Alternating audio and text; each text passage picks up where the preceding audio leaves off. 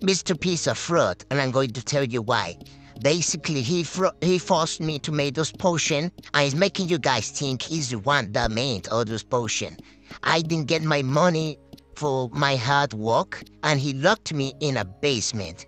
Do you know how bad is that? That's just bad, Will.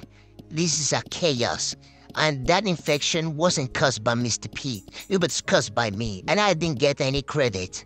And I'm going to get that with the video. And I'm really mad right now. And I'm going to go to your house, Mr. P, and I'm going to hate you until you give me my money. And give me my credit, bro.